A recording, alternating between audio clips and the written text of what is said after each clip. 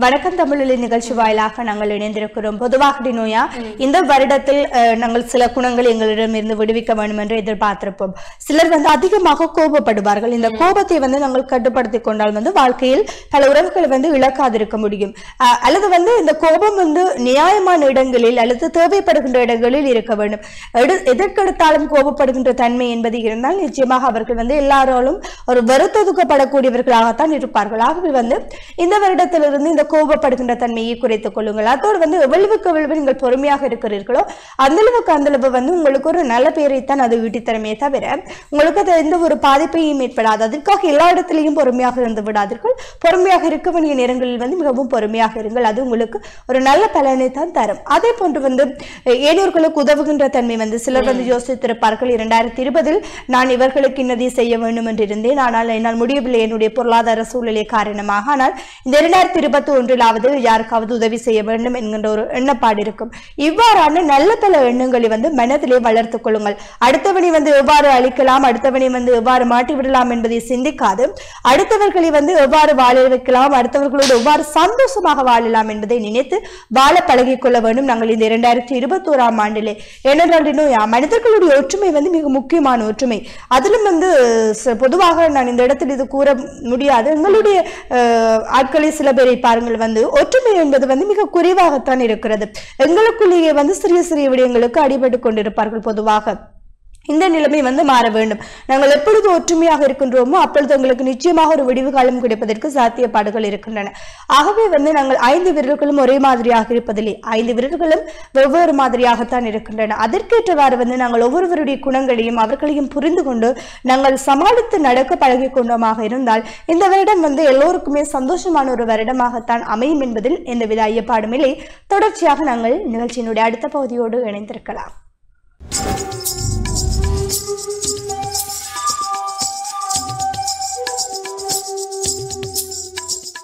வணக்கம். இன்று நாங்கள் பார்க்க இருக்கிற மூலிகை மருது. டெர்மினாலியே அர்ஜுனான்னு சொல்கிறது பெரிய மரம்.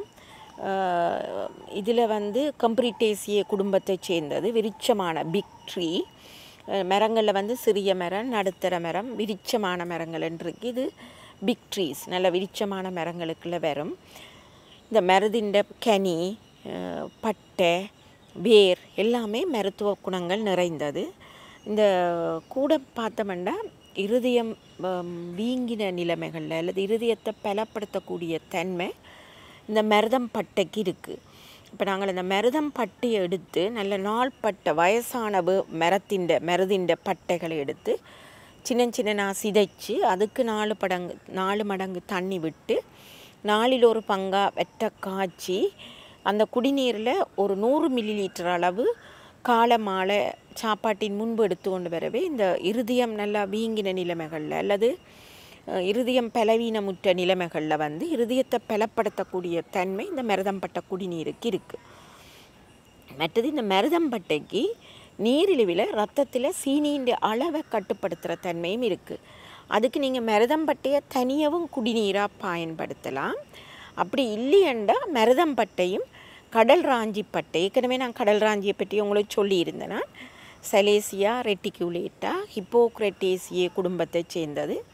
அதுண்ட பட்டைகளையும் இந்த மருத மரத்தின் பட்டைகளையும் சம அளவில் எடுத்துட்டு அதுக்கு நீங்கள் நாலு பங்கு தண்ணி விட்டு நாலில் ஒரு பங்காக வெட்ட காய்ச்சி நூறு மில்லி லிட்டர் அளவு காலை மாலை குடிக்கலாம்.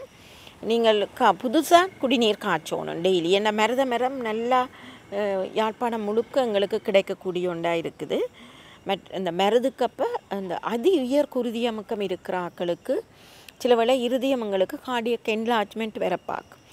அப்படியான நிலைமைகளில் வந்து இந்த மருதம் பட்டையையும் வெண்தாமரை பூ லோட்டஸ் வெண்தாமரை பூவின் பூ இதழ்கள் வெள்ளைப்பூவின் இதழ்களை மட்டும் எடுத்து ரெண்டையும் ஒரே அளவாக எடுத்து இதில் நூறு கிராம் எடுக்கிறீங்களா வெண்தாமரை பூவின் இதழ்கள் நூறு கிராம் எடுக்கணும்.